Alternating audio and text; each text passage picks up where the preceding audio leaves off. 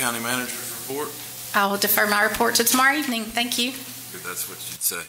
All right, commissioners? Motion to adjourn. All right, we have a motion to adjourn. All right.